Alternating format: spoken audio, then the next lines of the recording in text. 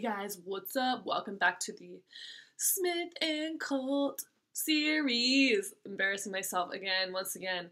Um, welcome back to this series on the nail lacquers from Smith and Cult and the philosophy of color. On this episode, I'm obsessed with Feed the Rich. It's a dark, deep, opaque teal color from Smith and Cult. Feed the Rich obviously green and teal and turquoise signify money. And um, i love this color because there's just the perfect amount of gray and blue in it.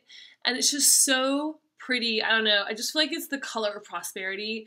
Um, looking into the philosophy behind uh, teal, which is a darker variation of turquoise. It's a sophisticated version of turquoise, and it signifies trustworthiness and reliability. Now, if those aren't two things you want on your fingertips, then tell me what else you want on your fingertips. I think it's fantastic, super, super chic color. It's um one of my favorites out of the whole collection, especially for fall when I want something a little bit grayer, a little bit kind of chicer that's going to go with my darker browns, navies, and blacks um, for the season.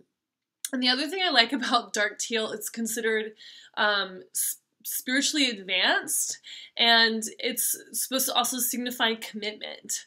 So, pretty funny, awesome name for a dark teal's Feed the Rich, um, considering it means, you know, spiritual advancement and commitment. So, pretty freaking awesome. I always love the kind of backhanded, oxymoronic, you know, kind of meanings behind all the nail lacquer, lacquers for Smith and Cults.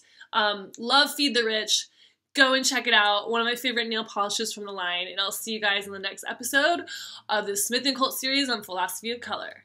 Check you later.